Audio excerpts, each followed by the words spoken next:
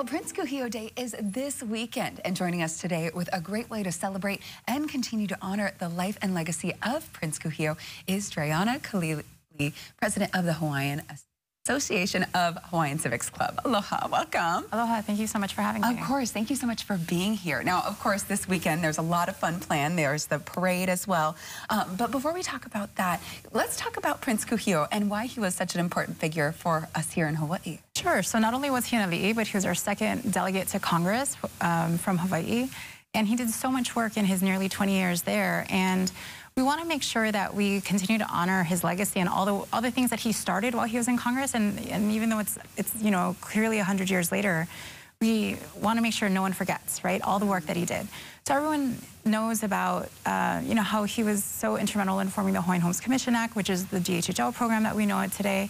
He's the founder of the Association of Hawaiian Civic Club movement, which started with the first club in 1918. But he also did so many other things. He helped set up some of the national parks. He set up the county government system as we know it today. And then he also got a lot of federal money for some of, you know, key transportation infrastructure, which people just kind of overlook. Mm -hmm. And so part of the celebrations this weekend are going to be part of this bigger effort for us to, you know, honor and celebrate, but also remember all the work he did. Definitely, because I think, you know, some people really gravitate toward, towards some of those highlights, but don't realize really how much was accomplished right. under him. Exactly. Um, now, of course, again, you're with the Association of Hawaiian Civic Club. What exactly is that? What do you guys do? Great question.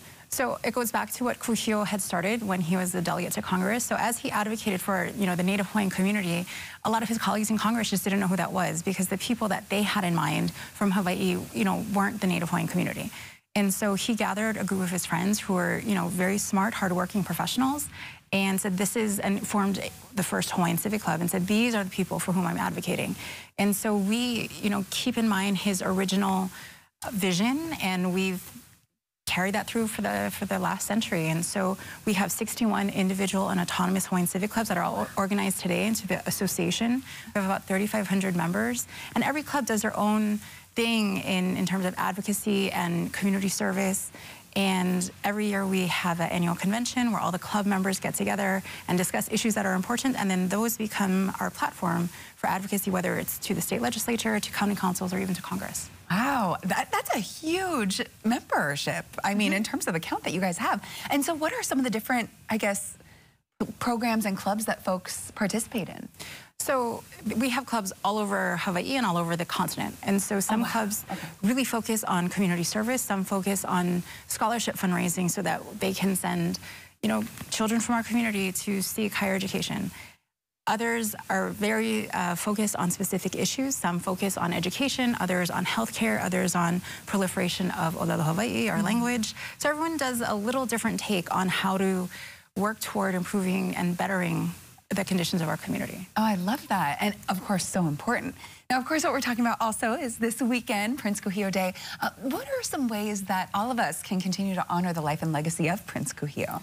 Well, in addition to coming to the, the parade to celebrate with us and the Ho'ikeike at Ka Makana Ali'i after, I think every day, uh, well, what, what I share with our members is, you know, when you do something, right, that touches the legacy of the work that he's done, I'm just, you know, it's important to remember that, but also to think of, you know, he had such foresight and vision, and if we can fast forward and, and kind of channel that foresight and vision that he had in the 20th century and think of what it means for the 21st century, I think Hawaii would only be better for it.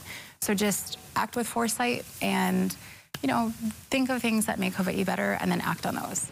Definitely. And you mentioned, of course, one of the ways is going to the parade. So what are the details? How do we head out? And then you mentioned Ka Makana Ali'i. What's happening there? So the parade route starts at Kapolei Hale and ends at Ka Makana Ali'i.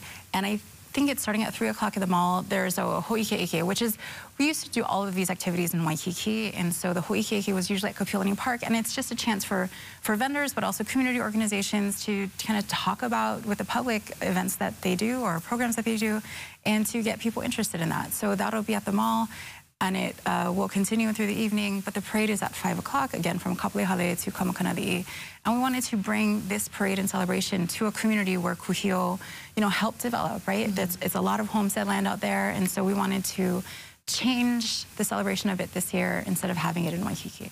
I think that's really important too because, you know, this really makes it, I feel like, more focused on the community. Obviously, a lot of visitors would watch the parade and then learn more, but I think a lot of visitors are going to be drawn to the West Side for this too. So to help boom business over there, I think that's a great idea. Yeah, we're excited. We're excited to try it and we hope it's a success and we'll hope to be out there next year if, it, if it's a big hit. Wonderful. And speaking of being out there, of course, you guys are going to be out there, yes. but so is KHON. So we're going to be live hosting the show. So make sure you check it out. Uh, Kamaka Pili, of course, going to be hosting it along with Paula Akana.